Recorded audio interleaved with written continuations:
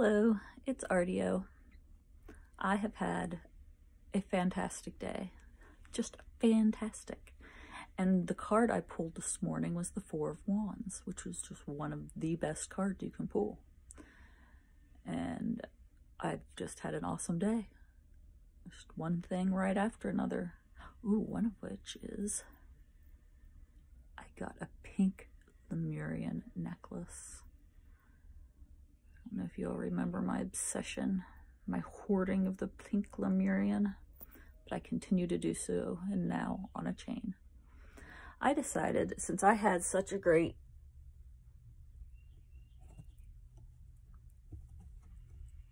single called card drawing this morning that worked out perfectly. There must be something to it, and I was going to do the same for all of you. So let's see. Just a single card for each sign. Start with Aries. May we please have a card for Aries? Two of Cups. Going to be meeting a soulmate. There's a good chance of that. Someone, maybe not a soulmate, maybe just someone that you really, really, really, really like. You're to love. So that's for Aries. Gonna fall in love.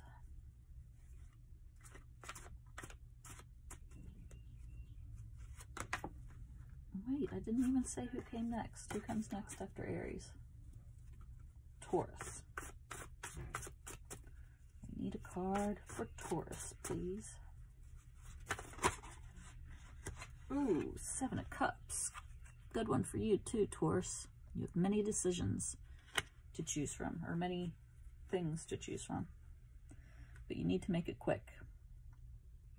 Because the Seven of Cups don't stick around forever.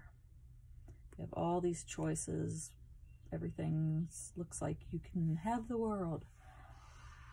But if you don't decide pretty quickly, they all disappear. I guess you're left right where you started. Either that or someone else has made a choice for you. So let's just say you have a lot to choose from right now, and I hope you choose what is best for you. Who comes after Taurus? Gemini. We're in Gemini season. Ooh, and that just popped right out like it knew. The Queen of Wands. Well, Queen of Wands is a fire sign. Leo, Sagittarius, Aries. She is very comfortable with her sexuality. She likes to do it, do it. And she loves earth. See her with her flower. She loves nature. And I think maybe that flower means the blossoming of her sexuality. And there's all those uh, can't remember what they're called back there on her chair behind her. Oh, pomegranates. And her little black cat. The story is that a wizard gave a witch a black cat to protect her. So, Gemini, I believe you're going to get laid. Right, who's next? Cancer. That's me. Oh no. This is not that bad. I just was having such a good day. But what this might mean, see, I've been really depressed for a really long time now. I'm bipolar. And like I said, today I had a good day, which is very unusual for me. So maybe this depressed life is going to blow apart and leave me as the Queen of Swords, who is very intelligent, intellectual, uh, likes to think. I love to do all those things. I write, I read. Um, I read a lot. So for Cancer, yeah, I accidentally got two cards. I did not do that on purpose because I'm Cancer. But it looks like your life is about to be upended. Whatever's going on right now is about to fall apart, maybe blow apart. You know, after something like this, things always turn out better. I mean, you have to go through the misery of the breakdown and the building back up, but it always turns out better than what it was before. And see, I'm going to turn into the Queen of Swords. And I'm going to feel good and go out and tell everyone how it is. Okay, next is Leo. Let's have a card for Leo. I'm not taking up many cards for Leo. Have to start again. No five cards for Leo. Just one card. One card for Leo, like everyone else. I will take two, but one is my preference. So Leo is carrying a very heavy burden right now. It's hard to tell what. Could be work, too much at work, could be too much with family. But look, there's a house back there, so you are eventually going to get where you're going with this burden. And that is for Leo. You're carrying a very heavy burden. You need to decide what to do with it. You could put it down, you could give it a toss in front of you and then go pick it back up and then throw it again, you pick it back up. You might feel like you're making better progress like that. Or maybe you'll just throw it all down and walk away from it. Or maybe you'll finish up carrying it to this house and then you'll be all finished and it will be done. You won't have to worry about it anymore. So that was Leo. Who's after Leo? Virgo. Virgo, I think it's Virgo. One card for Virgo, please. One card for Virgo. Can we get one card for Virgo? Oh, oh man. Not everyone's, I wanted everyone to get great cards like me. This is the dark night of the soul. This is depression. This is anxiety. This is staying up all night crying because you just don't know what to do. So Virgo, I hope that you decide what to do and that it calms your poor frazzled nerves. After Virgo is Libra. One card for Libra, please. Whoop, I said one. There we go. Reversed Page of Cups for Libra? Well, the cups are emotional. They're about emotions and love. Let's see, the it's reversed, but the little page of cups comes with a little fish in a cup. It's a little cup of love. Standing in front of the ocean with all those feelings, an entire ocean of them because this is a fairly young person. And instead of it being a fairly young person learning how to deal with their emotions, this is a young person who is not in control of their emotions. And that could be you, Libra, or it could be someone you're dealing with. I just can't say for sure. All right. I didn't even to say who is next. You want to take this one anyways? I mean, it's Scorpio. It knew which one was coming next as much as I did. Scorpio got the Moon, a major arcana card. I guess the Tower was major arcana for Cancer too. These are things that will change your life. The Moon is confusion. It You need to learn to better listen to your intuition.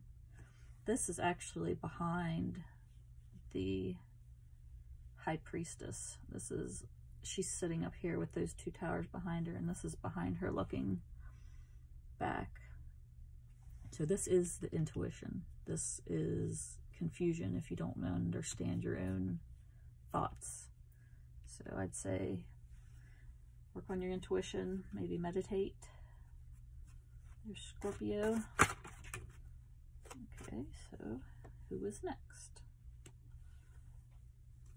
Sagittarius. You don't get to make a choice. You had a choice to make, and now you didn't, and now you're being forced to do one or the other, or maybe both, because you didn't choose. So you're going to be doing something that you probably didn't want to do. Okay, I'm going to call this one out before I take a card. Who was? Sagittarius didn't make their own choice, got made for them. Capricorn? Yeah, Capricorn. One card for Capricorn, please. Oh, that's two. I'll take two. Ace of Cups and Temperance. Your cup runneth over with love, but it is not in equal quantities to keeping yourself in check. So you are wild about this person, but you're not being balanced about it. You need to balance out your feelings for this person. Don't go overboard. Don't hold back either. I mean, don't pretend like you don't really like them so that they'll like you more. Did that even work? Okay. Capricorn. And comes Aquarius. One card for Aquarius, please. And we have the reverse Four of Cups. Now, the upright Four of Cups is boredom. I'm sick of all this shit. I don't even care about that cloud handing me a cup. That's how bored I am.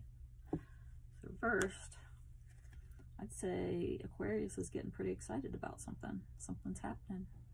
What's happening there? Did I even show you the card? Could you even see it? I don't really look at the camera when I'm doing this. So Aquarius is getting worked up about something. I hope it's something good, not like they're angry or anything. Alright, and Pisces. Let's get a card for Pisces. One card for Pisces, please. One card for Pisces. Nope. Not doing that. One card for Pisces. One for Pisces, please. One card for Pisces. One card for Pisces, please. The Three of Wands. Excellent. Your ship has come in. The thing you've been planning for and working towards is starting to pay off. You can't really tell in these cards, but those are little ships in the water. There's a little ship in the water there. And this guy's pretty happy that what he's been working on, or this person's pretty happy about what they've been working on is starting to pay off. Who knows how far it could go. Know, there are some things that I just cannot stand here. I want to know I would like to know. No, I'm not using those cards. I'm missing two sets of cards. Okay. Ooh, this one smells good. I put essential oils in all of my bags with my mm, with my cards. I don't always remember what they are. I've got a little, but I put a little thing down in them so I remember. Oh, this one has a lot of good stuff. It's doTERRA is where I get my essential oils so that I know that they're real.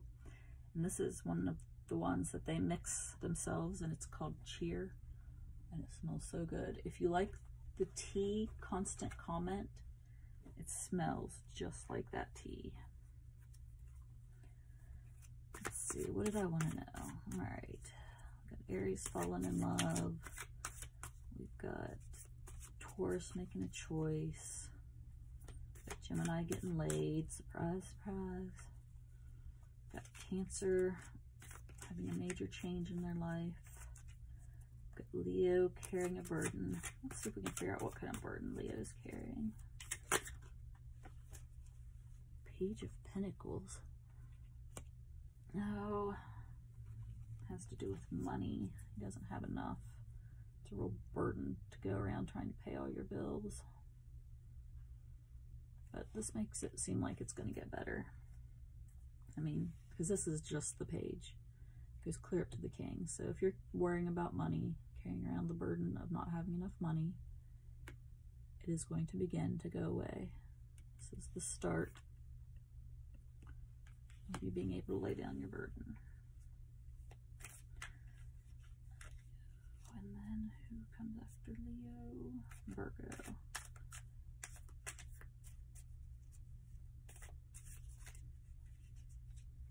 Virgo is having the dark night of the soul. Let's see if we can figure anything else about that for them. Dark night of the soul poor old Virgo. What's going on? Just one card, please. One card, please, to know what's wrong with Virgo.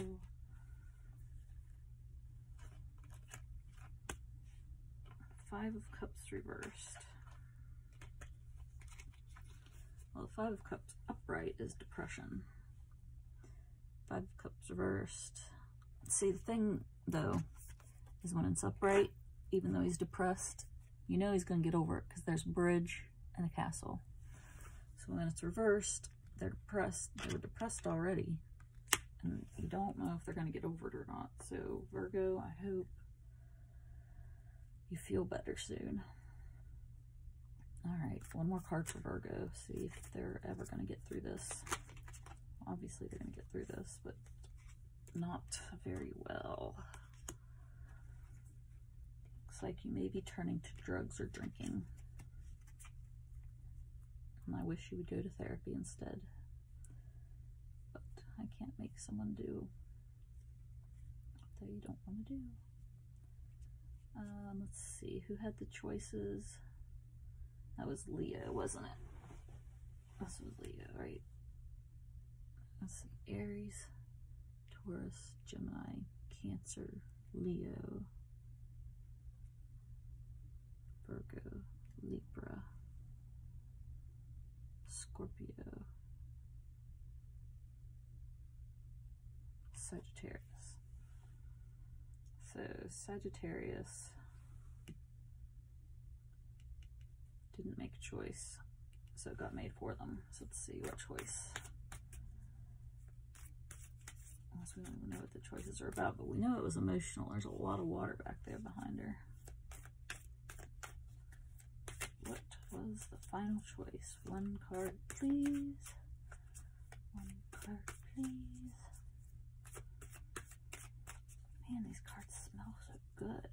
One card, please.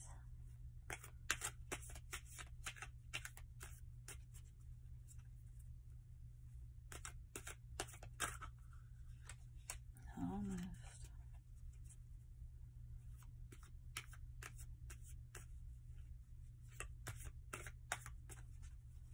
Just give me one card. Just one card for Sagittarius, please. One card for Sagittarius, please. Well, you were chosen to have to take up the bickering war. Everyone's bickering. It's like at work, probably, or maybe your friends. Everybody's taken aside and they're all saying that their idea, it's like an argument of egos. Which one of us is right? That's what you got stuck with because you didn't make a decision. You got stuck having to fight a battle you probably don't even care about. And I think everyone else, we pretty much know how it's going to go. More than one card a piece, but I am who I am, and I cannot change that. So, I hope you all have enjoyed my reading today. I hope you all got a card that you wanted or know how to work it out from whatever card you got. And I will see you next time. Artio out.